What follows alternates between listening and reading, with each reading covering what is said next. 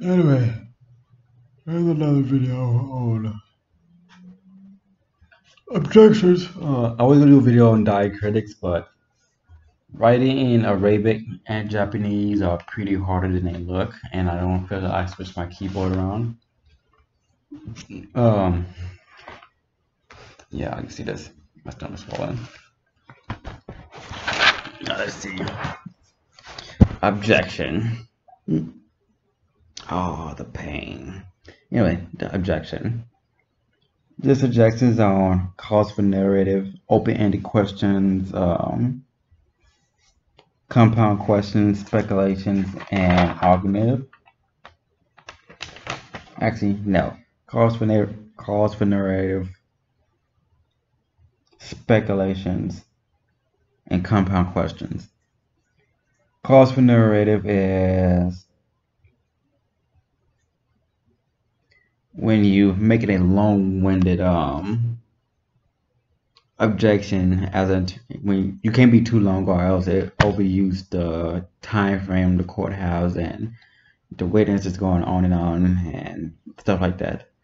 Uh, attorney one says, "You slept with him, didn't you?" Witness says, "But I did, but I didn't. I did, but I didn't." Thirty minutes later, objection, Your Honor. This attorney two saying that objection, Your Honor calls for narrative. The person or he or just being a long, long, long time. Hmm. And then there's speculations, which is mind reading. The cop pulled me over. Why did the cop pull me over? Attorney one, the cop pulled you over, Honor. I mean, attorney as the witness, why did the cop pull you over? Objection, Your Honor. Calls for speculation. Speculation is more like mind reading knowing one's thoughts, knowing one's intention ahead of time. Oh, that's within your knowledge, within her or his knowledge. She or he cannot be a mind reader. I am not a mind reader. I am a mind reader, but you know, I don't need to use that ability. Here's another one. Um, uh, why did he go to a store, pay with cash and not a credit card?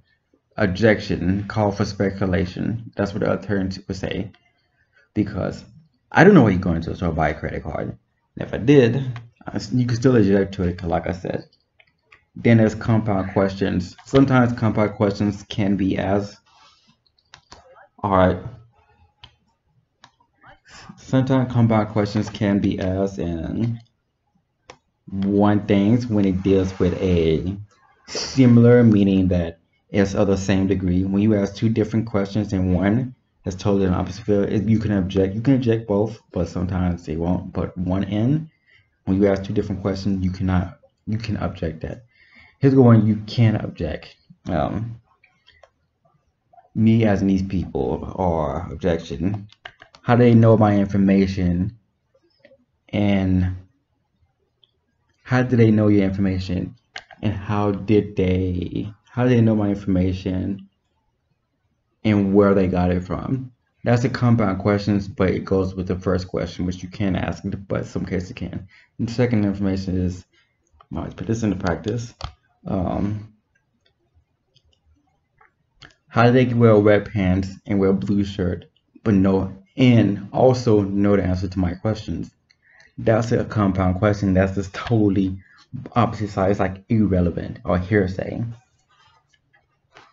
objection of narrative, long testimony, or just bad general witness, speculation when it's something that you had to mind read, and then there's compound questions.